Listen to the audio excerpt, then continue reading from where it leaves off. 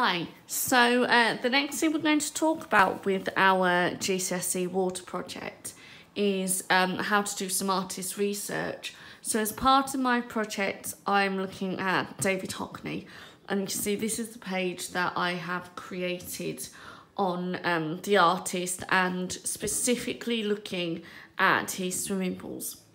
Now, one of the first things we need to make sure of when we're doing artist research is that we are using um, a credible source. So on this occasion, when Googling David Hockney swimming pools, um, straight away comes up the Tate Gallery, which actually has a whole huge amount of information on this particular area of the artist's work. We know it's credible, so what we can do is read through that and choose the bits that we think are important for our research. The other alternative to um, reading on internet sites, if you're not a fan of trawling through information like that, is to um, go on YouTube and have a look at some of the videos there, listen to what people are saying, and write up your notes that way. Um, it's a far more interesting way if you're, if you're not a keen reader. So with this page, let's have a look at how I've laid this out. You can see actually there's very little writing on it um, and that's because you just don't need loads. People think that to get a high grade in GCSE, you have to write essays on your artist.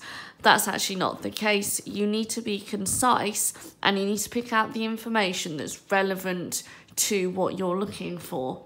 So in this case, I've got information about um, his uh, interest in water, what he was fascinated by. So here I've put about appearance and movement, how he painted. So I've got here about um, blocks of colour media he used. So um, here I've got about the acrylic paint and also how it's influenced you as an artist.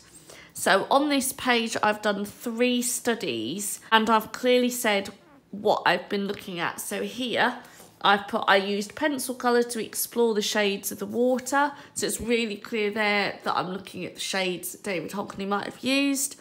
Here I've put about blocks of colour and I've used paint. And here down the bottom, I've just done a really small study of um, this section here and it's really important that you pay attention. These are quite deliberate marks, they're not random, so it's really important that you um, copy it correctly. And I've talked about exploring solid shapes with pen.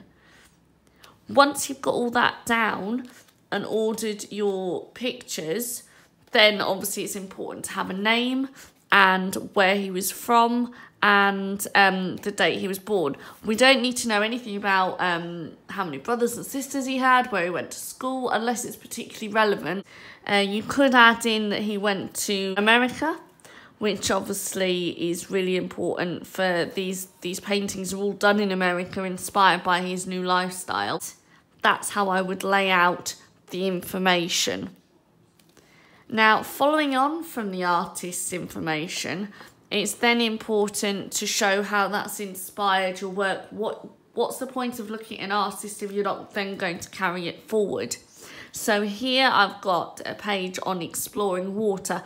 You might recognise these from the other video where I was um, playing about with making shapes in water. Very important, I've put up here, inspired by David Hockney, I filmed myself moving water in a tray um, to create ripples and drips. And then I've used the patterns from here to create my own image and explore how light and shadows work in different media and I've done this in um, nine different ways. To really try and explore, you'll notice these patterns that appear in David Hockney's work. It's made a nice link through, um, giving me a good opportunity to explore, good opportunity to include my own photographs, um, and just show that I'm thinking all the time about how I'm using the sources I'm looking at.